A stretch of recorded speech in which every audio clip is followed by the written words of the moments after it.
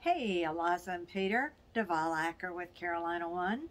It's been a while since I've seen you, so I thought maybe this would be a, a little more personal a greeting to go along with this email full of stats and, um, you know, information on property values. But I hope you'll find this useful. Haven't updated y'all in a while with what's going on around you, so I thought you'd find it in, interesting to see what's happening.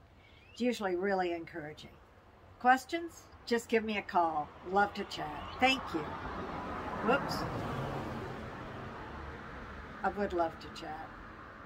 I hope y'all are well with your beautiful little girls. I'd sure love to see you. Take care. Thank you. Bye.